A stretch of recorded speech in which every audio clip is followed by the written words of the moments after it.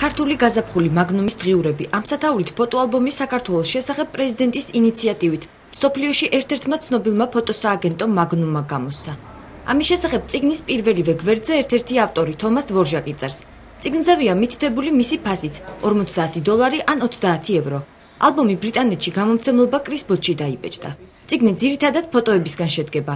მაგნუმის ფოტოგრაფების ობიექტივში საქართველოს ღირსშესანიშნაობები, ქართული სუფრა, ქართველი ქალები და აგვისტოს ომის შემდეგ დევნილები მოხვდნენ. ციგნში ბევრი ფაქტობრივი და კორექტურასთან დაკავშირებული შეცდომაა. ამ ფოტოზე კი ფოტოგრაფის აზრით საქართველოს ყველაზე ლამაზი ქალები არიან აღბეჭდილნი. დელიზის სუფრასთან და ბაპტისტები რაღაცას აღნიშნავენ ბაპტისტურ დღესასწაულს. ანუ ძირითადად არის არსად არ არის ნახსენები, რომ ეს არის მართლმადიდებლური ქვეყანა.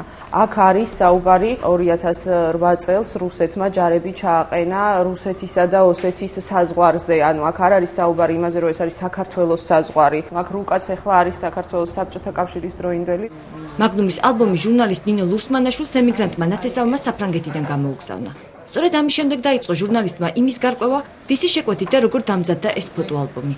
შეიძინა, იმიტომ რომ ეს რაღაც სიამაყით, მაგრამ მე მერეკავდა გაგიჟებული, რომ აი ვერანა დავათვალიერე და რაღაც პროტესტის გრძნობა გამიჩნდა, როცა 3 მილიონს ვიხდით ჩვენ იმაში, რომ შეიქმნას ბრენდბუქი. კი, გასაგებია, რომ ფოტორეპორტიორს ვერასოდეს ვერ მოსთხოვ იმას, რომ რაღაც ამ რაკურსით გადაიღოს და ის, მაგრამ ის მაინც ხომ უნდა უზრუნველყო, რომ აჩვენო ისეთი ადგილები, სადაც არ ყრია ნაგავი. ფოტოგრაფი იური მეჩიტოვი ამბობს, რომ მაგნუმის ფოტოგრაფები ტურისტული მიზნებისთვის განკუთვნილ ფოტოებზე არ მუშაობენ და ისე იღებენ, როგორც თვითონ ხედავენ. მეჩიტოვის ინფორმაციით ფოტოალბომი მილიონ ნახევარი ლარი დაჯდა.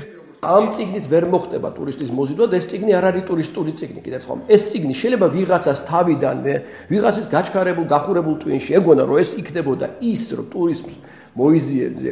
ეს ციგნი რო გამოვიდა, ცოტა შეწუხდნენ მე ვიცი ჩვენ ზემოთ, იმიტომ რომ ნუ ყველამ გადაიღო ის საქართველოს რომელიც დაინახა და სწორედ ამის შემდეგ დაემატა ალბომს კიდევ ერთი ნაწილი, სადაც მიხეილ სააკაშვილი და ბათუმისა და სიღნაღის ხედები მოხვდა. კულტურის მინისტრი ციგნით კმაყოფილია და მასში არსებულ ხარვეზებს უნიშნელოდ მიიჩნევს.